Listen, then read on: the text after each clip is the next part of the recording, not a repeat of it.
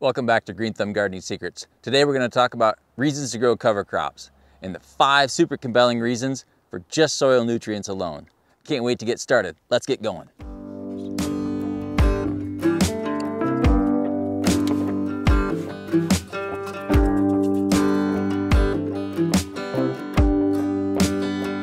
First, let's talk about what.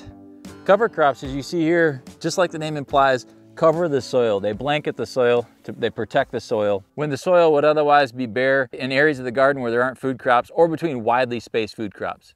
They're also in an acknowledgement that we can do better and there are, there's a better option than leaving our soil bare for six to nine months of the year. But why grow them? There are at least five fantastic reasons pertaining to just soil nutrients, and all are super important for our gardens and farms. Number one, Cover crops capture nutrients. Our water-soluble nutrients like nitrogen, potassium, and calcium, especially nitrogen, leach down through the soil with water. They, being water-soluble, they just filter right down in through the soil when it rains. And cover crops, especially grasses, and especially ones like winter rye, are outstanding at capturing those nutrients before they leach down into the soil. And cover crops capture them, hold them in their tissues while they're growing, and then release them back to our plants when they decay. Winter rye actually, in some studies, has been found to capture 100% of the available nitrogen. Cover crops also produce nutrients. Let's go over here to look at some legumes. Here we have some clover, crimson clover, and here we have some alfalfa. Right here we have one of both right next to each other. Both of these are legumes. And as legumes, they have little nodules in their roots that house rhizobium bacteria. And rhizobium bacteria take nitrogen out of the atmosphere. Our atmosphere is 78% nitrogen, but the nitrogen in our atmosphere is not in the form that plants can use. The rhizobium bacteria actually take through little pore spaces in the soil, get access to that nitrogen from the atmosphere and fix it into a form that plants can use. So number two, produce nutrients. I'm hearing some winter wheat which also had some forage radishes, also called tillage radishes, that died out in the winter. And the winter wheat kind of came in and took its place. Those forage radishes have really long tap roots.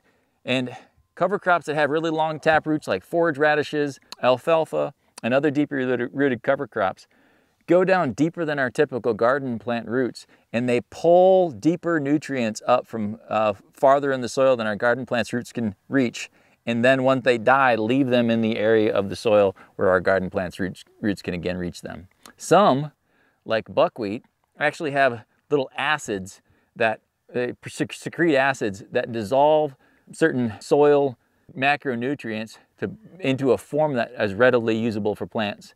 Uh, mycorrhizal fungi do those same thing in combination with the roots of our of cover crops, dissolve a lot of, of nutrients that are otherwise hard for our plants to use and put them into forms that are perfectly usable for our plants. So they make nutrients more available by getting them from deeper in the soil and from by putting them in forms that are more usable for our plants.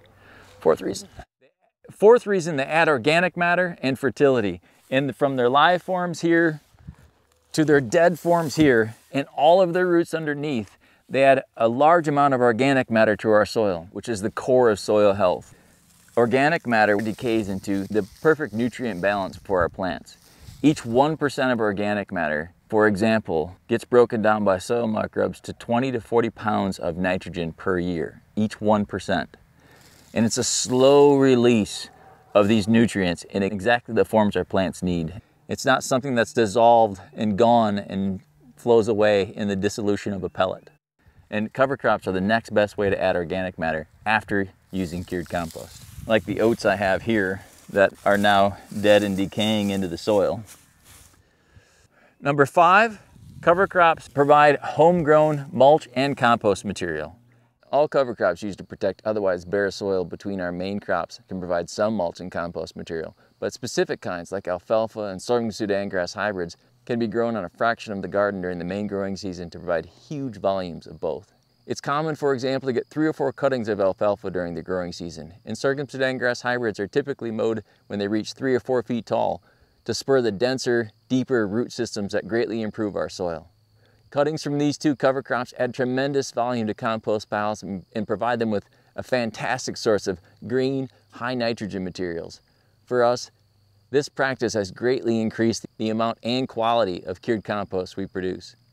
However, these fantastic cuttings can also be used as super nutrient-rich, weed-free mulch. Similarly, the dead and dried stalks from winter-killed covers like these winter-killed oats here can be left on the soil to decay while you plant amongst them, or raked off before you plant, set aside, and added back to help cover the soil later.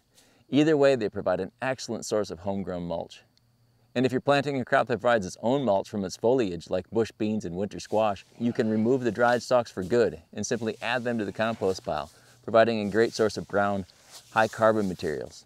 If you have too much at one time, just pile them nearby to be safe for times like summer when the compost pile needs some layers of dried, high carbon materials to balance out the overwhelming amount of green, high nitrogen materials we all tend to get that time of year. Either way, they're a great source of homegrown compost materials as well. And the homegrown nature of both means we know whether or not they're doused in chemicals that would be harmful to our main crops or filled with weed seeds that would become a headache.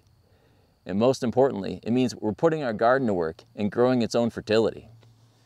Well, that's it for this episode, but there are at least 15 other reasons that are all just as important for our gardens and farms. So stay tuned for upcoming episodes on cover crops' remarkable impacts on increasing water and air in our soil, weed disease and pest control, increasing production of our main crops, our peace of mind, and our pocketbook. And until next time, stay open to growing.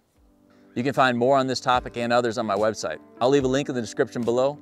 Like this video if you liked it. It really helps us out. Leave questions or comments below. I personally answer each one and subscribe to get all of our future videos. And if social media is your jam, feel free to follow us on Twitter and Instagram for even more Green Thumb Gardening secrets, tricks, and tips, and just the tips.